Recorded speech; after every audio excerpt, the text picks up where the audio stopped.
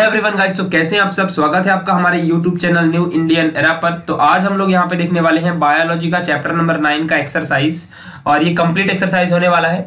और आप लोग को अगर इसकी पीडीएफ वगैरह चाहिए रहेगी तो आप टेलीग्राम ज्वाइन कर लो, ठीक है? वहाँ पे मैं सारी चीज़ें आपको वहाँ पे प्रोवाइड कर दूँगा ओके सारी पीडीएफ वगैरह। बट हाँ किस तरीके से लिखना है कितने मार्क्स का कौन सा क्वेश्चन आ सकता है कहाँ कहाँ से आपको किस तरीके से पढ़ना है, वो एक आपको स्ट्रक्चर पता चलेगा अगर आप पूरा वीडियो देखते हो तो। तो बस क्या करना है, बस ऐसे चला के रख दो कहीं पर भी और आप बस सुनते रहो। मेरी वॉइस इज़ मोस्ट इंपॉर्टेंट और क्वेश्चन के स्ट्रक्चर को देख लो, बस आराम से आपको समझ जाएगा। तो चैप्टर नंबर नाइन है ये, जिसका नाम है कंट्रोल एंड कोऑर्डिनेशन एंड बहुत ही इंपॉर्टेंट क्वेश्चन होता है सभी नीट वगैरह पेपर के लिए हर जगह। तो हम इसका एक्सरसाइज देखने वाले हैं।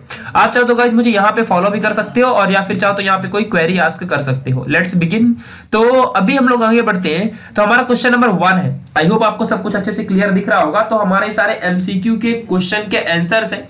आप चाहो तो इन्हें ना अच्छे से इसका स्क्रीनशॉट भी ले सकते हो। जैसे कि पहला क्वेश्चन है the nervous system of a mammals uses both electrical and chemical mean send signal via neurons. Which part of the neurons receives impulses obviously यार, ये अगर ये क्वेश्चन भी नहीं होता ना, सिर्फ़ इतना भी लिखा होता कि which part of the neurons receive impulses तो वो डेंड्रॉन ही होता है।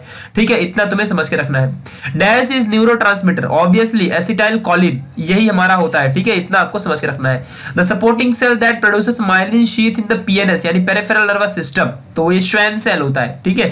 Collection of neuron cell bodies located outside the CNS called ganglion on ठीक है, इतना आपको समझना है। Receptor for protein hormones are located in on the cell surface मतलब जो रिसेप्टर्स होते हैं सेल सरफेस फ़िलहाल ये क्वेश्चन रिड्यूस है आप लोग के लिए, ठीक है? आगे बढ़ते हैं। If parathyroid gland of man are removed the specific result will be onset of myxoedema ठीक है myxoedema oedema mean swelling ठीक है? चलो आगे बढ़ते हैं। Hormone thyroxine adrenaline and non adrenaline are formed from tyrosine obviously ठीक है, ये हमारा केमिकल कंपाउंड का नाम है, ठीक है? आगे बढ़ते हैं। अभी देखो यहाँ पे हमारा ऐसे बहुत सारे, देखो यहाँ पे pheromones are chemical messenger produced by the animal and released outside the body the order of these substances are affected by behaviour okay which of the following is मतलब set of discrete endocrine gland तो endocrine gland में pituitary gland thyroid adrenal और thymus तीनों आते हैं।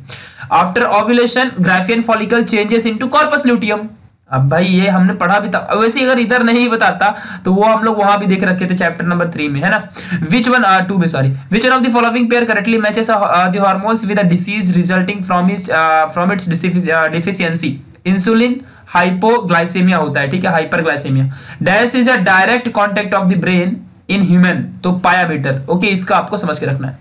Guys आप लोगों को मैं बात बता दूँ कि अन अकेडमी ने आप लोग के लिए लॉन्च कर रखा है नीट के लिए बहुत ही बेस्ट कोर्सेस ठीक है? यहाँ पे दो दो कोर्सेस उसने लॉन्च किया है। एक का नाम है उम्मीद बैच और दूसरी यहाँ पे है अल्फ़ा अचीवर्स बैच, ठीक है? तो आप ना एकदम एक्सपर्ट के साथ नीट को अभी क्रैक कर सकते हो, जिन बंदों को ट्वेंटी में नीट देना है। जैसे कि आपको पता है, जून, जुलाई में पेपर होने वाला है नीट का। तो जिन बंदों को ये पेपर देना है तो सभी लोग यहाँ पे अन की बैचेस को ज्वाइन कर सकते हो और यहाँ पे टॉप एजुकेटर्स आपको पढ़ाने वाले हैं। एक नहीं, बल्कि दो दो बैचेस यहाँ पे लॉन्च हुई है। एक तो जैन थ्री से स्टार्ट हो चुकी है मतलब जिसका नाम है उम्मीद बैच ठीक है? इतना आपको समझ के रखना है। और एक है हमारी यहाँ पे आपको देख लेना है अल्फ़ा अचीवर्स बैच जिसमें बहुत सारे टीचर्स हैं। आप देख सकते हो सारे टीचर्स ने बहुत सारे रैंक लिवाए हैं बहुत सारे बच्चों के। और ये जैन फोर से स्टार्ट हो रही है, ठीक है? इतना आपको समझना है। तो जिन बंदों को नीट देना है और उनका सपना है कि वो एमबीबीएस डॉक्टर बने और वो बन भी सकते हैं इजिली क्योंकि देखो यार टीचर की कमी होती है। अगर एक टीचर चाहे तो आपको कहीं से कहाँ पहुँचा सकता है। तो आपको एकदम अभी कोटा वगैरह जाने की ज़रूरत नहीं, जितने भी यहाँ पे टीचर दिख रहे हैं, सब कोटा के ही हैं। आप चाहे तो इनके बारे में पढ़ लो स्क्रीनशॉट लेकर के।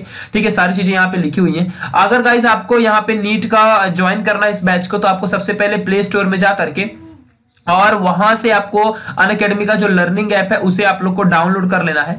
डाउनलोड करने के बाद रजिस्टर वगैरह करके और डिस्क्रिप्शन बॉक्स में आपको लिंक मिलेगी। तो या फिर आप डायरेक्टली सीधा भी जाओगे तो भी चलेगा। एप्लीकेशन के अंदर सबसे पहले आपको राइट कॉर्नर से यहाँ पे आपको निकाल लेना है। यहाँ से आपको नीट और जेई का यहाँ पे कोर्स मिल जाएगा नीट यूजी का। उसके बाद अगर आप चाहो तो सब्सक्रिप्शन भी ले सकते हो इन बैचेस का, चाहे वो कोई भी उम्मीद बैच हो, चाहे वो अल्फ़ा बैच हो, कोई भी बैच का। और यहाँ पे आप लोग ना किसी भी ईयर का मस्त आराम से लेस अमाउंट में पढ़ाई कर सकते हो। गाइज़ अगर आप लोगों को ना मतलब टेन एक्स्ट्रा डिस्काउंट चाहिए रहेगा तो आप यहाँ पे लिख देना New Indian Era capital letter without any space ठीक है? अगर आप लिखते हो तो आपको यहाँ पे टेन का एक्स्ट्रा डिस्काउंट डिस्काउंट मिल जाएगा ठीक है? और इससे होगा आपका बहुत ज़्यादा फ़ायदा ठीक है? आपको बेसिकली प्लस के ये फ़ायदे मिलते हैं कि इंडिया के बेस्ट एजुकेटर रहेंगे इंटरेक्टिव लाइव क्लासेस होगा स्ट्रक्चर कोर्सेज प्लस पीडीएफ भी मिलेगी लाइव टेस्ट वो भी क्विजेस के फॉर्म में होंगे। अगर आप आइकॉनिक वाला लेते हो तो इसमें आपको एक्स्ट्रा चीज़ें क्या मिलेंगी? बाकी तो सब मिलेगा ही प्लस वाला। एक्स्ट्रा मिलेगा personal coach study planning expert guidelines test analysis सब कुछ आपको दिया जाएगा आइकॉनिक वाला अगर आप लेते हो तो, तो ये सारी चीज़ें तो यार कहीं पर भी नहीं मिलती। पर्सनल चीज़ें तो कहीं पर भी आप कहीं भी फ़िज़िकल क्लास में लगा लोगे तो आपको पर्सनली कोई गाइड ही नहीं करेगा, ठीक है? बट यहाँ पे आपको पर्सनली गाइड किया जाएगा। तो एक बार लेके देखो, फिर आपका फ़ायदा, एक बार एटलीस्ट विज़िट करके देखो, आपको फ़ायदा ज़रूर होगा। अभी आगे बढ़ते हैं हम लोग यहाँ पे क्वेश्चन नंबर टू की तरफ़। वेरी वेरी शॉर्ट आंसर्स की तरफ़ चलते हैं। तो पहला क्वेश्चन है हमारा what is the function of red nucleus ओहो ग्रेट क्वेश्चन तो यहाँ पे देखो भाई, इसका फंक्शनलिटी अभी तक सब वीडियो में समझा रखा है। लेकिन कितना पॉइंट आंसर लिखना है, वो मैंने आपको यहाँ पे बता रखा है। ठीक है? तो ये बात आपको समझ के रखनी पहली बात तो लोकेशन बता दो, कहाँ रहता है? कि ये जो होता है, ये मिड ब्रेन के पास होता है बेसिकली और स्कैटर्ड रहता है within the white matter आपको मालूम है ना थ्री टाइप के मैटर होते हैं, पाया मैटर ऐसे ऐसे करके। तो ऐसे व्हाइट मैटर के पास रहता है। तो और इसी को हम रेड न्यूक्लियस कहते हैं। ठीक है? इतना आपको समझना है। ये बहुत ही इंपॉर्टेंट रोल बेसिकली पोस्चर को कंट्रोल करने में मसल की tone modifying some motor activities या मोटर कोऑर्डिनेशन में हेल्प करता है। अगला क्वेश्चन है what is the importance of corpora quadrigemina अब ये भी आपने सुना होगा, मस्त नाम है ना कॉर्पोरा क्वाड्रिजेमिना क्या बात है। मतलब यार बायोलॉजी के बंदे ना अलग ही लेवल पे रॉक करते हैं। तो कॉर्पोरा क्वाड्रिजेमिना जो होता है यार फोर राउंडेड एलिवेशन होता है dorsal surface of the midbrain में, ठीक है? ये इतना पॉइंट पहला पॉइंट आपका हो जाएगा। फिर इसके बाद ना, इतना आपको लिखना है कि सुपीरियर कॉलिकुलाय जो होती है, उसमें इन्वॉल्व रहता है विजुअल रिफ्लेक्सेस में। अब देखो, इतनी सारी चीज़ें तो आपको याद करनी पड़ेंगी। मतलब ये चैप्टर में, देखो यार, हम ब्रेन से ही ब्रेन के बारे में पढ़ रहे हैं। क्या ही मज़ेदार बातें हैं, है ना? ये बात थोड़ा सा देखना अच्छे से आपको, ओके? तो ये बहुत सारी इंपॉर्टेंट होती है necessary to move the head and hear the sounds and most distinctly ठीक है? तो ये सारी चीज़ों में हेल्प करता है कॉर्पोरा क्वाड्रिजेमिना जो कि मिड ब्रेन का पार्ट है। अगली बात है what does the cerebellum of the brain control तो सेरेबेलम बेसिकली एक लार्जेस्ट पार्ट होता है पूरे ब्रेन का, और एक लैटरल हेमिस्फीयर में प्रेजेंट रहता है। और तो और ये बेसिकली मतलब ग्रे मैटर हो, चाहे पाया मैटर हो या कॉर्टेक्स ऑफ़ द ब्रेन पे, ये क्या रहता है कॉर्टेक्स मालूम ना वो जो जगह होती है जहाँ पे सारी चीज़ें प्रेजेंट रहती हैं। तो वहाँ पर ये सेरेबेलम प्रेजेंट होता है। और तो और ये ना मतलब इंटरमिक्सिस फॉर्म करता है ट्री लाइक पैटर्न और बोर वाइटे जिसको हम कहते हैं। तो इन सारी चीज़ों में लोकेशन है, इसकी सारी चीज़ें आपको समझ के रखनी है। ठीक है? आगे बढ़ते हैं अभी यहाँ पे देख लो। Name the three ossicles of the middle ear ठीक है? ऑसिकल्स बताने हैं ईयर के।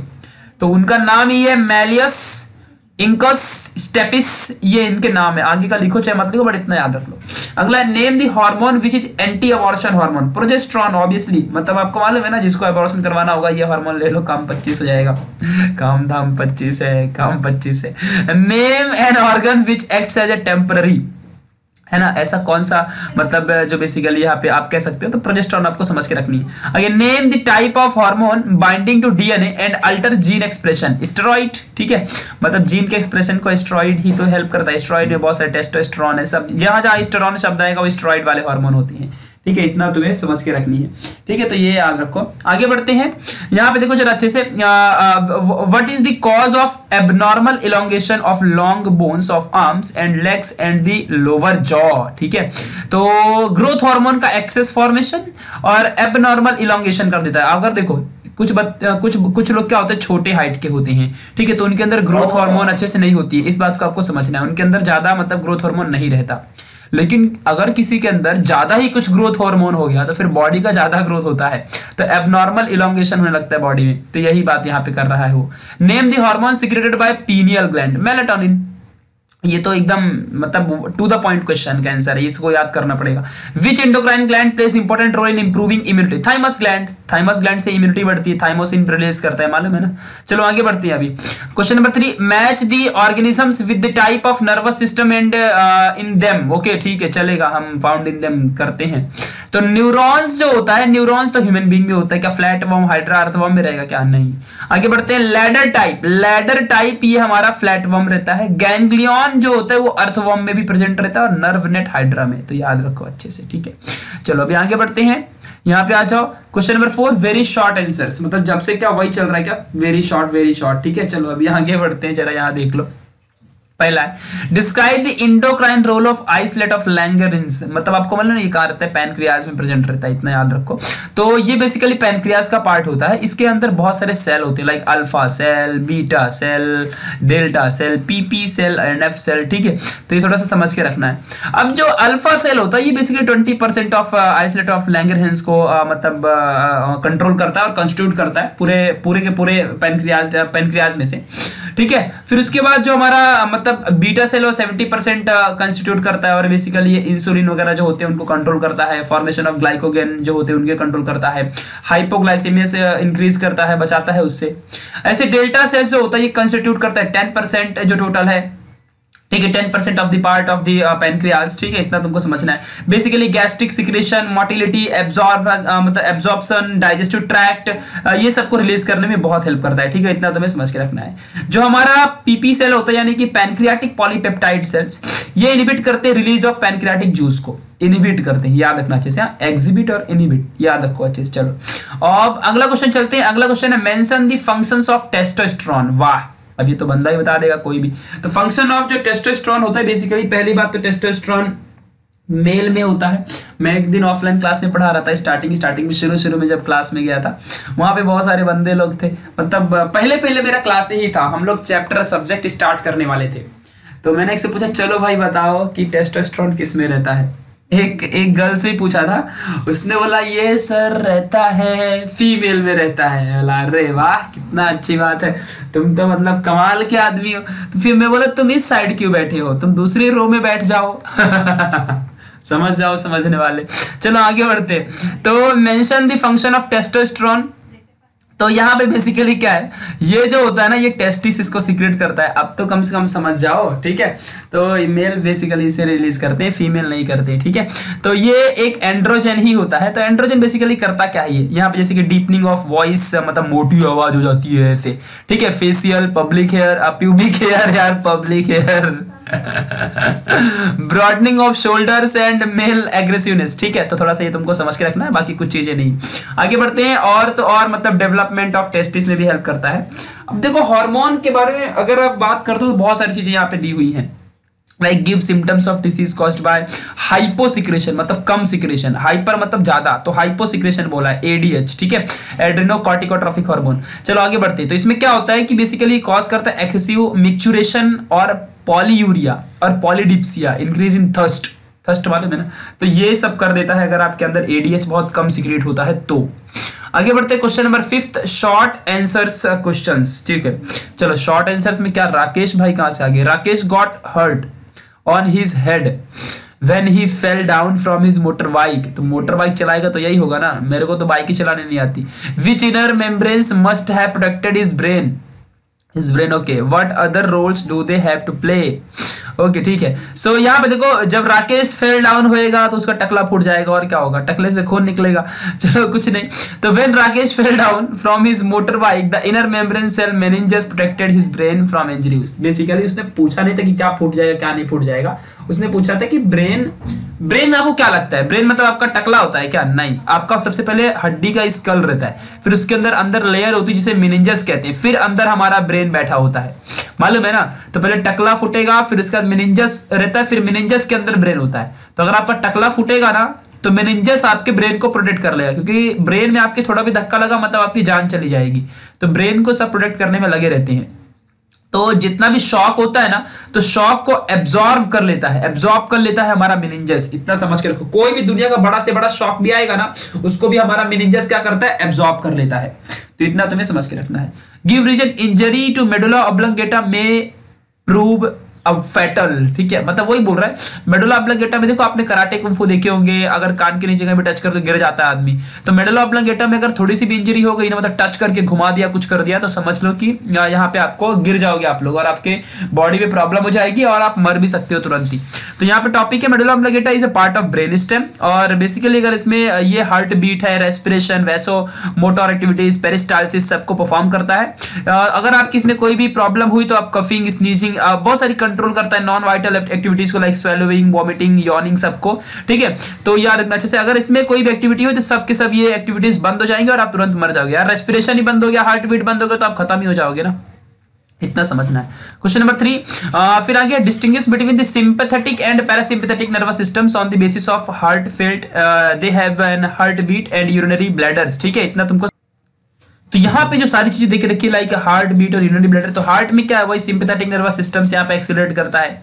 यूरिनरी ब्लैडर में सिंपैथेटिक नर्वस सिस्टम जो होता है इनहिबिट करता है ब्लैडर कॉन्ट्रैक्शन को। दैट्स इट इतना देखना है। While holding a tea cup of mister Kothari hands rattle okay Kothari which disorder he may be suffering from and what is the reason for this कौन सा disorder होगा? मतलब अगर उन्होंने while holding a tea cup mister Kothari hands rattle तो कौन सा उन्हें प्रॉब्लम है? उन्हें ग्रेव्स डिसीज है। मतलब वो, उनको ग्रेव्स डिसीज हो गया है। इतना तुमको समझ के रखना है।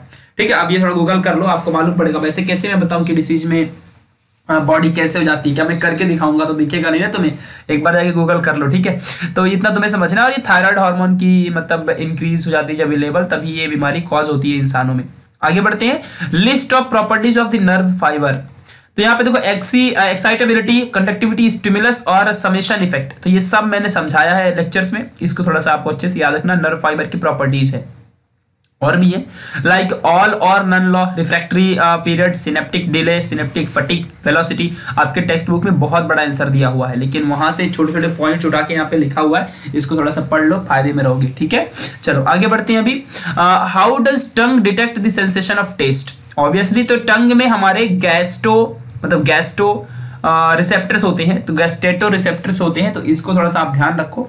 इन्हीं रिसेप्टर की मदद से टंग हमारी किसी भी टेस्ट को पता कर लेती है कि कड़वा है, तीखा है, मीठा है, या फिर गुलाब जामुन है, कैसा है, ठीक है? तो वह state the site of production of functions of secretin gastrin cholecystokinin ठीक है? तो देखो यहाँ पे साइट ऑफ़ प्रोडक्शन क्या है? सिक्रेटिन गैस्ट्रिन और कॉलेसाइटोकाइनिन क्या होता है? यहाँ पे secreted in the gastro intestinal tract ठीक है? फ़ंक्शन क्या है सिक्रेटिन का? ये रिस्पॉन्सिबल होता है पेनक्रेटिक जूस को रिसिक्रेट करने में। गैस्ट्रिन बेसिकली गैस्ट्रिक ग्लैंड से रिलीज़ होता है, जो कि गैस्ट्रिक जूस बनाता है। कॉलेज मतलब कॉलेज सिस्टोकाइनिन जो होता है, ये हमारा जिसे सीसी के भी कहते हैं, ये स्टिमुलेट करता है pancreas to release enzymes and also stimulates gall bladder to release the bile products ठीक है? बाइल मालूम है ना येलो कलर का होता है। उसको रिलीज़ करने में हेल्प करता है। आगे बढ़ते हैं, अब मान लो, यहाँ पे मान लो, एक क्वेश्चन नंबर आठवा एक्टिविटी बेस्ड है। An adult patient suffers from low heart rate okay ठीक है। Low metabolic rate and low body temperature he also lacks alertness intelligence and initiatives मतलब सिम्टम दे रखा है। What can be this disease what can be its cause and care ठीक है? तो इसको जो है ये, इसको माइक्सो एडिमा हो गया है और ये हुआ है क्योंकि हाइपोथायरॉयडिज्म की वजह से थायरॉयड ग्लैंड से जो थायराइडिज्म जो होता है वो कम रिलीज़ हुआ है। डेफिशिएंसी हुई है। और ऐसे केस में उसे फ़ूड खाना वगैरह जिसमें आयोडीन ज़्यादा रहे, वो सब उसे ज़्यादा प्रोवाइड करना पड़ेगा। मतलब आयोडीन वाले प्रोडक्ट्स उसे ज़्यादा देना पड़ेगा तो जाके कहीं ना कहीं वो बंदा ठीक हो सकता है। तो ये थोड़ी सी बातें आपको ध्यान रखनी है। ओके क्वेश्चन नंबर नौवा है where is the pituitary gland located ये तो ब्रेन के पास होता है हाइपोथैलेमस के नीचे। Enlist the hormone secreted by anterior pituitary gland okay देखो अब यहाँ पे सारा पिट्यूटरी ग्लैंड के बारे में बताना है आपको और कौन कौन से हार्मोन रिलीज़ करता है। तो पिट्यूटरी ग्लैंड बेसिकली हाइपोथैलेमस के नीचे रहता है और ये बहुत सारे हार्मोन लाइक सोमेटोट्रोपिन है thyroid stimulating hormone adrenocorticotropic hormone prolactin या फिर ल्यूटियोट्रोपिन या फिर मेमोट्रोपिन जो कहो कहो बट कहो। ठीक है? ऐसे ही बहुत सारे हार्मोन लाइक यहाँ पे गोनेडोट्रोपिन है luteinising hormone I S C H hormone तो ये सब के सब हार्मोन्स हमारा पिट्यूटरी ग्लैंड ही रिलीज़ करता है।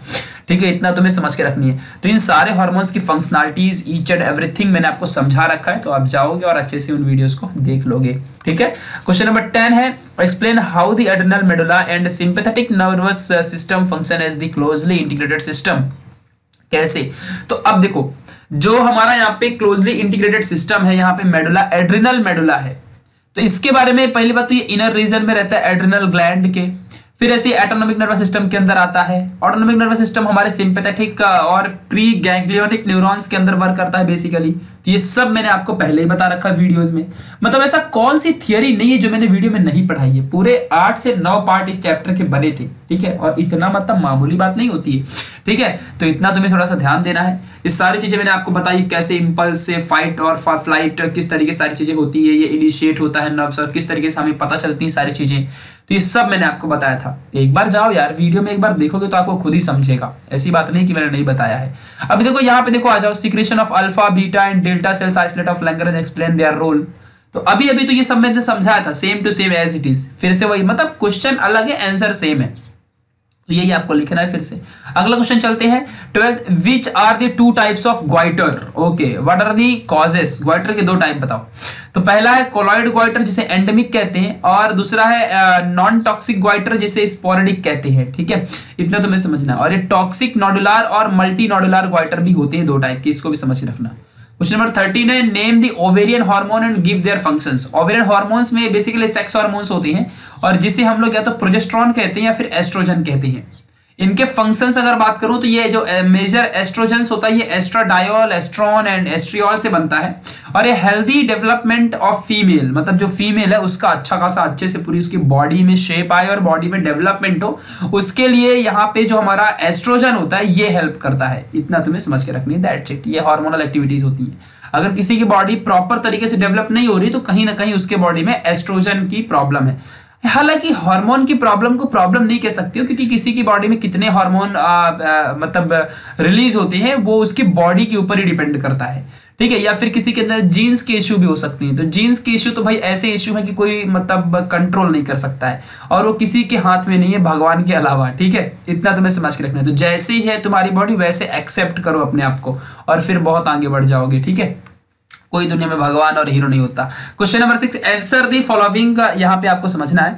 तो देखो क्वेश्चन ये हमारा यहाँ पे दिया, इसको फिल इन द ब्लैंक मैंने खुद यहाँ पे भर दिया, इसको देख लो यार। मतलब पीएनएस में यहाँ पे और प्रोड्यूसर्स माइलिन शीट तो यहाँ पे श्वेन सेल फिर सीएनएस ये सब मैंने भर दिया, आप एक बार स्क्रीनशॉट ले लो, इसको कुछ बताने जैसा नहीं है। क्वेश्चन नंबर सेवन की तरफ़ चलते हैं अभी। देखो तो यहाँ पे जो हमारा क्वेश्चन नंबर सेवन है, ये बहुत ही मज़ेदार क्वेश्चन है, ऐसी बात नहीं है, ठीक है? यहाँ पे देखो लॉन्ग आंसर देना है। तो explain the process of conduction of nerve impulse up to development of action potential development of action potential की बात कर रहा है। तो आप देखो एक्शन पोटेंशियल में मैंने आपको बताया था किस तरीके से आयोन्स का इंपॉर्टेंस होता है, Na plus C L minus K plus predominant होते हैं। कैसे कैसे बायो इलेक्ट्रिकल और इलेक्ट्रोकेमिकल डिस्टर्बेंस होता है पासेस अलोंग द न्यूरॉन्स ये सब मैंने पोलराइज स्टेट बताया था कि नहीं बताया था?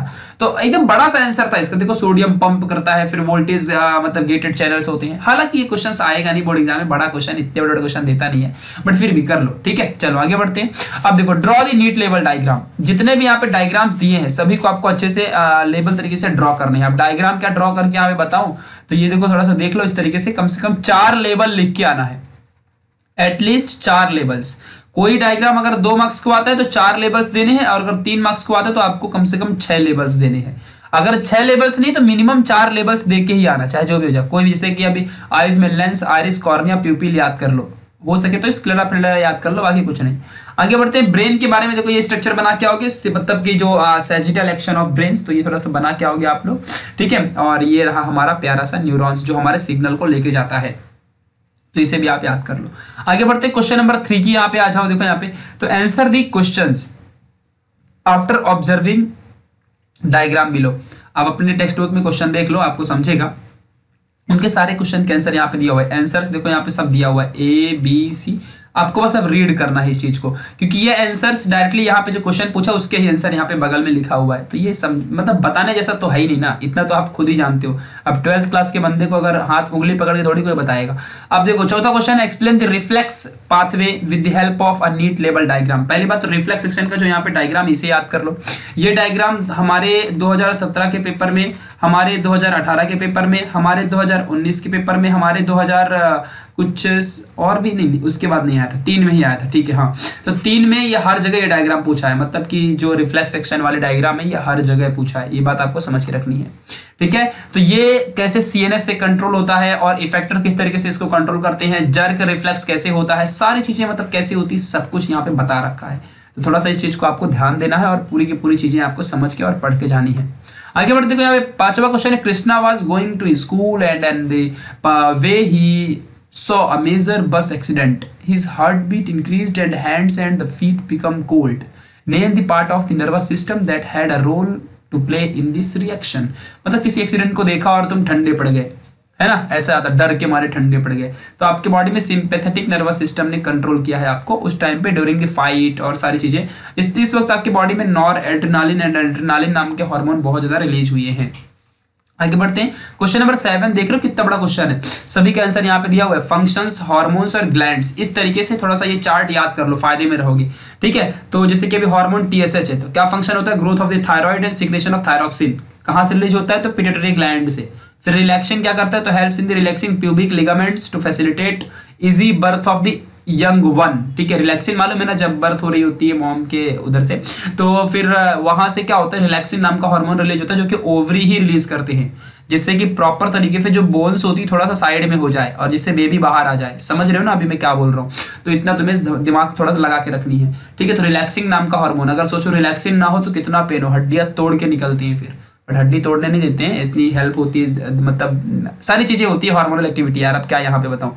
कॉलेसिस्टोकाइनिन जो होता है, ये स्टिमुलस स्टिमुलेट करता है इंटेस्टाइन ग्लैंड को सिक्रेट करता है इंटेस्टिनल जूसेस को, और गैस्ट्रो इंटेस्टिनल ट्रैक्ट से ये रिलीज़ होता है। तो ये सब आप रीड कर लो एक बार, सब आपको समझ जाएगा। स्क्रीनशॉट तो ले ही सकते हो।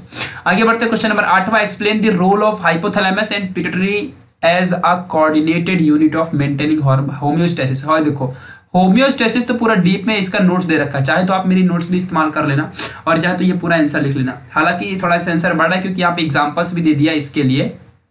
ठीक है? बाकी, अब कोई प्रॉब्लम नहीं है। तो चाहो तो आप नोट्स भी इस्तेमाल कर लो, अच्छी बात होगी। ठीक है? क्वेश्चन नंबर नौवा की तरफ़ चलते हैं। What is adenohypophysis name the hormone secreted by its ठीक है? एडेनोहाइपोफाइसिस बेसिकली आउट ग्रोथ होती है हमारे बकल कैविटी की। ठीक है?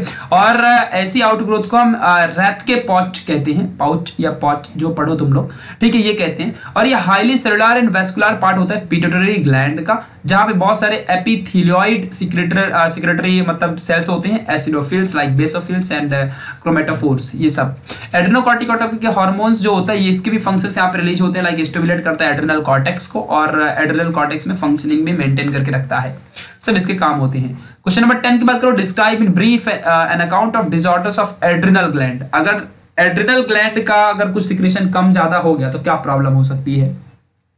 तो यहाँ अगर हाइपर सिक्रेशन हुआ, अगर एड्रिनल ग्लैंड ने ज़्यादा अपना जो भी एड्रिनल ग्लैंड सिक्रेट करता है ग्लैंड ही देखो हार्मोन सिक्रेट करते हैं। जो भी सिक्रेट करता है, अगर वो ज़्यादा सिक्रेट हो गया तो क्या?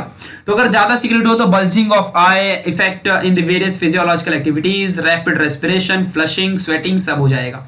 और इसी में ग्रेव डिसीज भी हो जाती है, जिससे कि हम लोग कोल्ड पड़ जाते हैं, ठंडे पड़ जाते हैं, सारी चीज़ें टेम्परेचर नर्वसनेस इरिटेबिलिटी आ जाती है।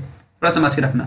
और अगर हाइपोसिक्रेशन हुआ तो तो आपके बॉडी के अंदर दो टाइप की बीमारियाँ होंगी लाइक क्रिटिनिज्म एंड माइक्सोएडिमा ठीक है? तो मिक्सोएडिमा या फिर क्रिटिनिज्म कोई भी बीमारी इसमें से हो जाएगी। जो क्रिटिनिज्म है ये इसे मतलब डिफिशियंसी ऑफ़ थायराइड हार्मोन के जैसे होती है। इसमें जो बीएमआर होता है बॉडी का, वो थोड़ा सा कम ज़्यादा होते रहता है रिड्यूस जाता है बेसिकली और लो ऑक्सीडेशन होता है आपकी बॉडी में। आपके अंदर लिथर्जी जॉन्डिस ऐसी टंग का थिक होना ड्राई स्किन सब क्रिटिनिज्म के ही लक्षण होते हैं, यानी कि सिम्टम्स होते हैं। और मिक्सोडिमम में फील्स कोल्ड टेम्परेचर आपकी बॉडी कम होएगा, आपके अंदर ब्लड प्रेशर कम हो जाएगा हार्ट रेट स्लो हो जाएगा, सब कुछ कम हो जाएगा। इंटेलिजेंसी अलर्टनेस गायब हो जाएगी। तो ये मिक्सोडिमा में होता है। तो ये सब कुछ आपको थोड़ा सा ध्यान देना है। आगे बढ़ते question number eleven. Explain the action of steroid hormone and proteinaceous hormone ठीक है? तो स्ट्रॉइड हार्मोन तो अब आपको मालूम ही है। देखो अब यहाँ पे तो बेसिकली माइन्यूट क्वांटिटी में ये हार्मोन रिलीज़ होते हैं, ज़्यादा तो नहीं बट थोड़े से क्वांटिटी में।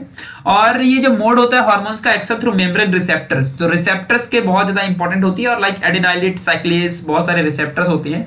ये सब यहाँ पे बहुत ज़्यादा हेल्प करते हैं। तो इन चीज़ों को थोड़ा सा आपको देखना है। इतने ही पॉइंट आप एग्ज़ाम में लिखोगे तो जाके कहीं ना कहीं आपको मार्क्स मिलेगा। दूसरा मोड है mode of action through intracellular receptors तो ये रिसेप्टर का क्वेश्चन है। फ़िलहाल इस साल के बंदों को रिड्यूस है, बाकी बंदे इसको रीड करके जाना अच्छे से। आगे बढ़ते question number twelve describe in brief an account of disorders of the अब थायराइड में अगर हाइपर सिक्रेशन हुआ तो वही आपको बल्जिंग ऑफ़ आई इफ़ेक्ट होगा।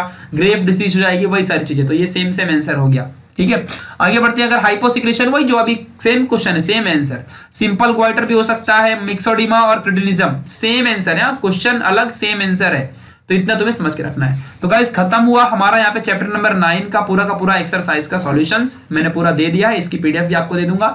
बस आप लोग को सपोर्ट करना है और आप चाहो तो मुझे यहाँ पे फॉलो कर लो कमेंट बॉक्स में बताना। यार बायोलॉजी में थियोरटिकल आंसर ही तो होते हैं तो क्या कर सकता है कोई? जबकि मैंने पूरी थियरी पढ़ा दी है तो अब आपको क्वेश्चन के बस आंसर देने थे। ठीक है? तो हो सके तो इस वीडियो को जितना हो सके शेयर कर देना सभी फ्रेंड में ओके और फैला दो एकदम। कमेंट बॉक्स में बताओ कोई डिमांड रहेगी तो। मिलेंगे ऐसे अगले वाली वीडियो में, तब तक के लिए बाय बाय